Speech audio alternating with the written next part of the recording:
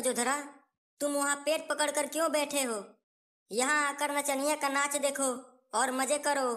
क्या करूँ सरदार? बड़े ज़ोर की टट्टी लगी है। टट्टी लगी है? तो टट्टी करने क्यों नहीं गया? डर लग रहा है सरदार। काफ़ी अंधेरा है बाहर। आप चलो ना मेरे साथ सरदार। अबे मैं क्यों जाऊँगा तेरे साथ? बस आप वहाँ साइड में खड़े रहना। गजोधरा वह भयंकर नज़ारा मैं बर्दाश्त ना कर पाऊँगा। तो अच्छा यही होगा कि तुम ही अकेले जाओ। चलो ना सरदार, काफ़ी ज़ोर की लगी है। बस बाँध टूटने ही वाला है सरदार। अबे तो यहाँ बैठा क्यों है? जल्दी निकल यहाँ से।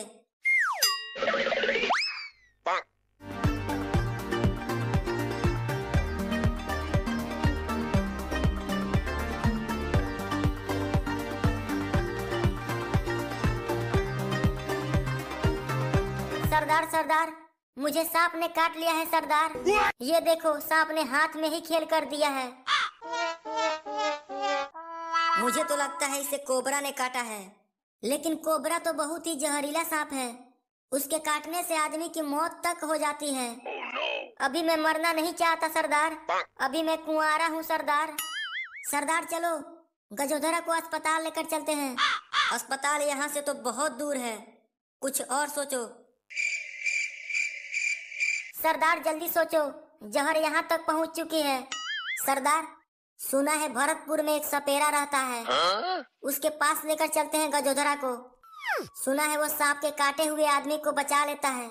अबे अगर हम सब वहाँ गए तो पुलिस की नज़रों में आ जाएँगे। तुम दोनों चुपके से उसके पास जाओ और उसे यहाँ लेकर आओ। बड़ा डर लग रहा है सरदार।